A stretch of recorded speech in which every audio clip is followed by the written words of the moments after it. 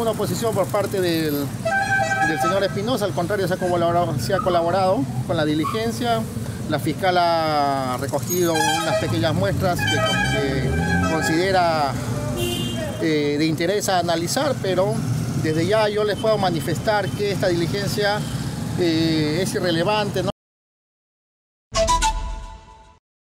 Buenos días, Nicolás. Información en vivo desde Ancas, en el distrito de Nuevo Chimbote, en la urbanización El Bosque, en donde ha culminado el allanamiento en la casa alquilada del congresista de Acción Popular Darwin Espinosa Vargas por la Fiscalía y siete agentes de la División de Investigación de Delitos de Alta Complejidad Viar. Estos se llevaron sobres enlacrados, una laptop y una impresora. Hemos tratado de hablar con la fiscal que realizó estas diligencias, sin embargo, se fue sin dar declaraciones.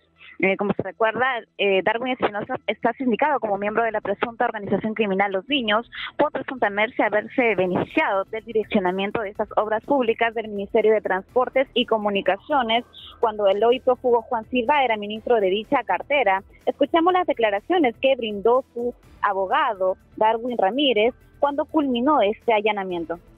Esta diligencia es un reflejo de la presión, de la presión mediática y política que se quiere ejercer en contra del señor Espinosa.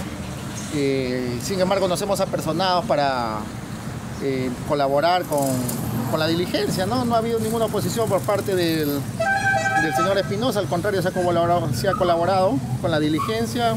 La fiscal ha recogido unas pequeñas muestras que, considera eh, de interés a analizar, pero desde ya yo les puedo manifestar que esta diligencia eh, es irrelevante ¿no? en la medida que, como les vuelvo a señalar, es un tema eh, de rutina, me imagino, para la fiscalía, pero el congresista, el congresista, ¿Qué es lo que se ha encontrado?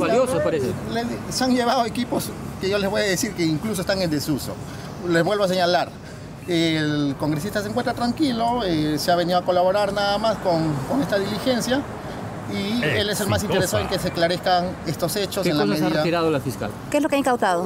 tres muestras nada más, dos, tres documentos y una lacto que como vuelvo a señalar que está en desuso, ¿no? Pero eso ya va a analizar la fiscalía y como le vuelvo a señalar, la idea acá es colaborar con esto a fin de que esta situación se esclarezca y bueno, eso es lo único que puedo manifestarles el parlamentario se encuentra llegando a la ciudad de Huaraz, ya que tenía una visita prevista, una visita protocolar.